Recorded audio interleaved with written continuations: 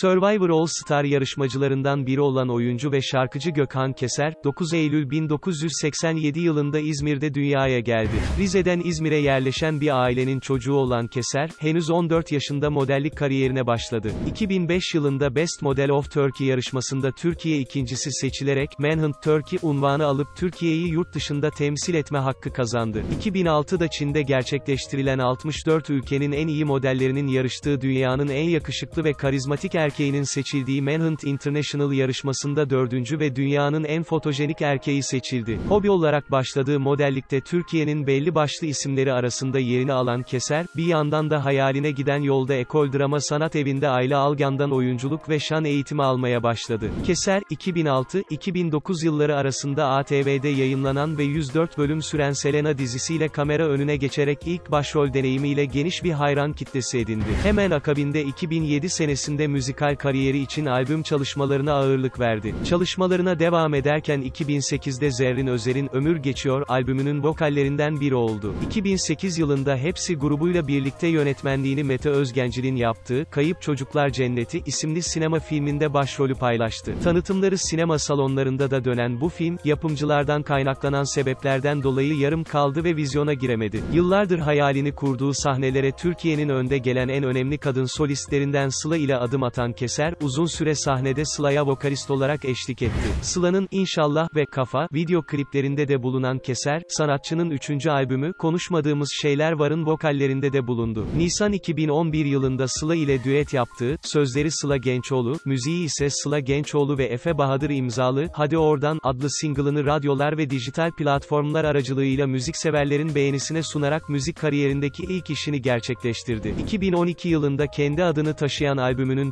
prodüktörlüğünü Sıla Gençoğlu ve Efe Bahadır yaptı. Albümün, sözü Gökhan Keser ve Sıla Gençoğlu'na bestesi Gökhan Keser'e ait olan çıkış şarkısı ve klibi En Kötü Günümüz Böyle Olsun, sosyal medyada da büyük beğeni toplayarak müzik listelerine üst sıralardan giriş yaptı. 2014 başında ikinci single çalışması Hiç Vaktim Yok'u sevenleriyle buluşturdu. Ardından Survivor 2014'te ünlüler takımında yer aldı. Survivor tarihinde adadan elenmesi için konseylerde ismi hiç yazılmayan, finale kadar SMS'e çıkmayan ve final koltuğuna oturan tek isim olan Keser, 116 günlük zorlu serüvenin ardından finalde yarışmayı ikinci olarak tamamladı. 2015 yılında maxi single'ı Bul Beni ile müzik kariyerine kaldığı yerden devam etti. Keser, 2015 yılında Seviyorum Seni ama arkadaşça, 2016 yılında Atçalı Kel Mehmet, 2017 yılında Tatlı Bela ve 2021 yılında Yalancı Sevgilim adlı filmlerde rol aldı ve Beyaz Perde'de boy gösterdi. İşte benim stilimde yer alan Gülay Hançer ile bir dönem sevgili olan şarkıcı, şimdilerde Survivor 2022 All Star yarışmasında mücadele ediyor.